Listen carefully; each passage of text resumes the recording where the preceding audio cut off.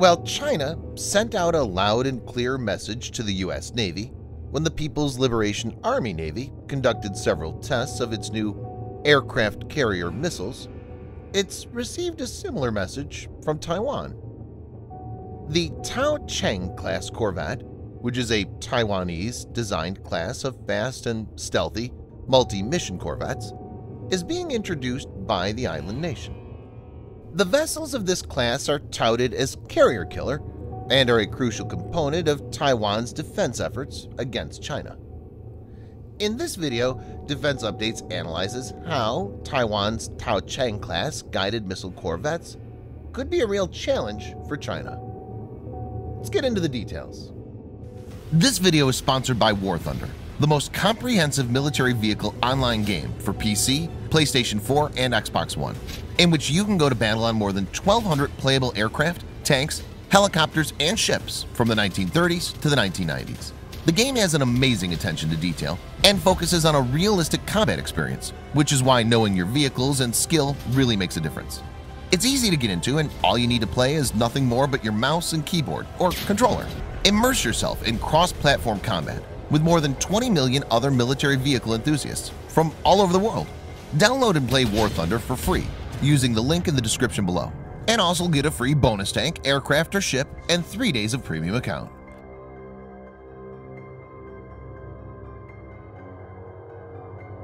Currently, two ships are in active service, Tuo Chiang PGG 618 and Ta Chiang PGG 619. Both of these domestically produced vessels and built by the Kaohsiung-based Jong Shyn Shipbuilding Group feature a modern catamaran design. Ta Chiang PGG 619, the first series-produced vessel of the improved variant, entered service with the Taiwanese Navy, a ceremony held on the 9th of September at the Suao Naval Base that was also attended by Taiwanese President Tsai Ing-wen.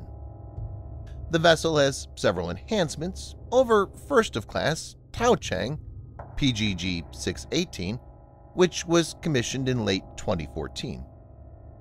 The Tuo Chiang class corvettes have a length of 60.4 meters, displacement of 685 tons, a maximum operational range of 2,895 kilometers or 1,800 miles, and a top speed of 80 kilometers per hour or 50 miles per hour, according to Lung Lungte Shipbuilding. Taiwan is expected to receive a total of 11 of these vessels over the next five years with plans for the Taiwanese Navy to receive six by 2023 and five more by 2025.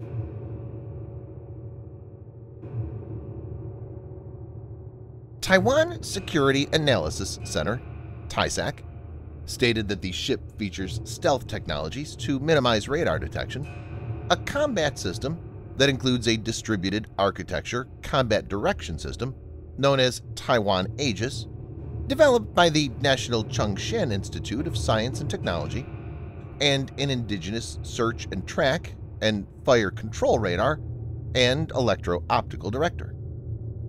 It's designed to counter the numerous and increasingly sophisticated People's Liberation Army Navy ships by utilizing hit-and-run tactics. It features a clean upper structure design with very few extrusions to reduce radar signature pre-cooled engine exhaust to reduce infrared signature, and a reduced visual signature to reduce the chance of detection. The idea is to make the vessel less detectable by radar and allow it to be obscured by background radar noise when operating closer to the coastline.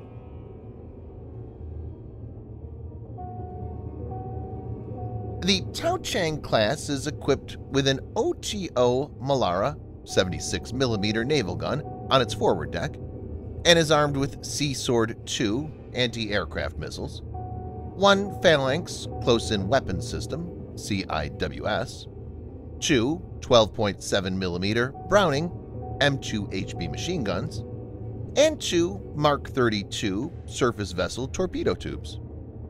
The key weapons are the anti-ship missiles, eight subsonic Hsiung Feng 2 HF-2 anti-ship missiles, 8 supersonic Hsiung Feng 3 HF-3 medium-range missiles. The Hsiung Feng 2 has a length of 4.9 meters, a body diameter of 0.4 meters, it carries a 225 kilogram or 495 pounds high explosive, fragmentation, semi-armor piercing warhead, and includes an all-weather, dual-seeker, and electronic countermeasures. The Hsiung Feng 2 has a reported range of up to 120 kilometers or 75 miles, although reports in 2017 claim that Taiwan successfully produced an extended range version with a range of up to 250 kilometers or 155 miles. The missile is propelled by a solid-fueled booster and liquid-fueled turbojet engine. It uses an inertial navigation system-based guidance system. The standard variant, Hsiung Feng 3, measures 5.1 meters in length, 0.38 meters in diameter. The missile carries a single 120 kilogram or 265 pounds high explosive semi-armor piercing warhead. The Hsiung Feng 3 has a range of 150 kilometers or around 95 miles.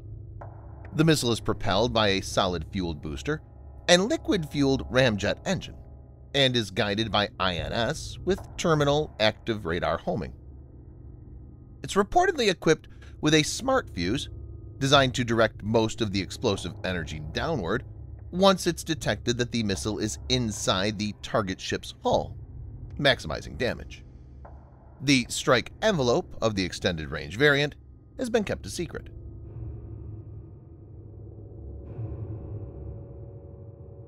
China is separated from Taiwan through the Taiwan Strait, and China will have to move its forces across the strait in case it decides to invade.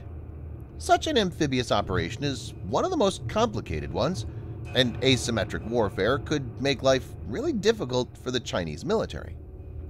This is where the new warships can be very handy.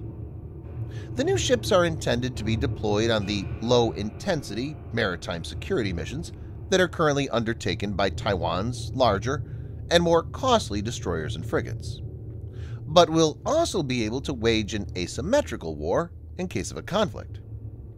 China's not very experienced when it comes to operating aircraft carriers, and neither are its carriers as capable as the American ones. In this situation, the Tuo Chiang class could be a deadly adversary. Thanks for watching. Subscribe for more videos like this. Hit the like button if you find the video interesting, and kindly provide your feedback in the comment section. This will help us improve.